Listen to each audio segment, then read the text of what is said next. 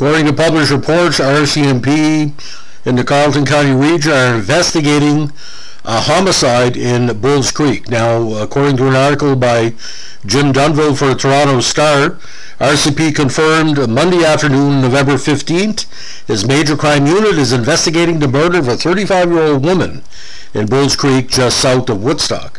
RCMP were on the scene at 1428 Route 165 in Bulls Creek all day Sunday and into Monday. The RCMP said officers responded to report that a woman was shot outside a home on Route 165 at about 2 a.m. on Sunday, uh, November 14th.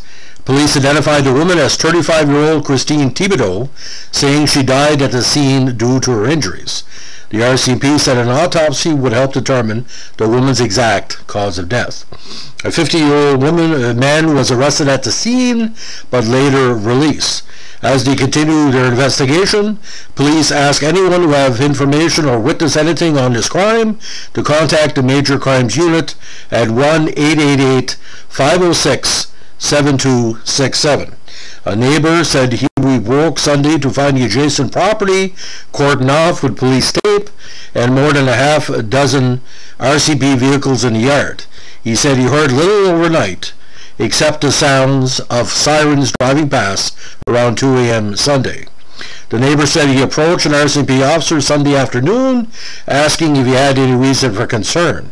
He said the officer told him no, adding police had one person in custody and were looking for a second person. Late Monday afternoon, yellow police tape remained surrounding the property with a police car remaining at the driveway entrance. Now, Bulls Creek is a unincorporated rural community uh, between uh, Meductic and Woodstock.